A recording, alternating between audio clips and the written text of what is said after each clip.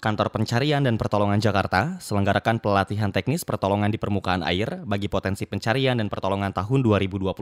sebagai pembinaan terhadap potensi pencarian dan pertolongan yang ada di wilayah kerjanya melalui pembekalan pengetahuan dan keterampilan teknis pertolongan di permukaan air atau water rescue. Seperti yang dilaporkan oleh Ketua Penyelenggara, Michael Rahman Junika, bahwa tujuan pelatihan ini untuk meningkatkan pengetahuan dan keterampilan dalam memberikan pertolongan pertama terhadap korban kecelakaan di perairan, khususnya di wilayah Sukabumi, Jawa Barat, serta menguatkan koordinasi pada saat melaksanakan operasi pencarian dan pertolongan. Wakil Bupati Sukabumi Haji Yoso Mantri yang hadir membuka pelatihan yang dilaksanakan di salah satu hotel di Palabuhan Ratu tersebut menyampaikan apresiasi dan menjelaskan bahwa para petugas Search and Rescue Kabupaten Sukabumi harus memiliki kemampuan terlatih dalam penyelamatan di lapangan. Wabub juga menekankan petugas SAR agar bekerja secara ikhlas dan selalu mengedepankan pertolongan untuk kemanusiaan. Melalui pelatihan teknis Search and Rescue di permukaan air ini, Wabub berharap dapat dijadikan pembelajaran awal yang sangat bermanfaat bagi potensi Search and Rescue dalam mendukung pelaksanaan operasi pencarian dan penyelamatan di wilayah Kabupaten Sukabumi. Pada kesempatan itu pula, Wakil Bupati Sukabumi Haji Yoso Mantri menyematkan tanda peserta secara simbolis kepada dua orang perwakilan peserta.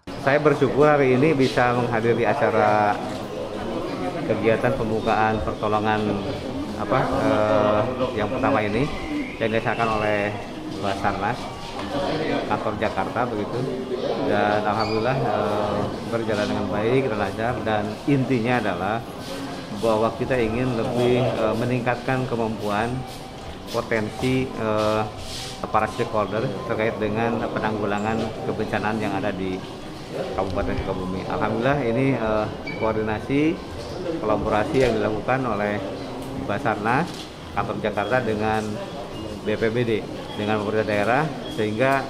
ini bisa terwujud dan insya Allah di dalam pelaksanaannya ke depan kita akan lebih bersinergi lagi berkolaborasi dalam rangka penanggulangan masalah itu. Demikian informasi disampaikan Dinas Komunikasi Informatika dan Persandian Kabupaten Sukabumi dari Palabuhan Ratu Kabupaten Sukabumi Jawa Barat, kami TV melaporkan.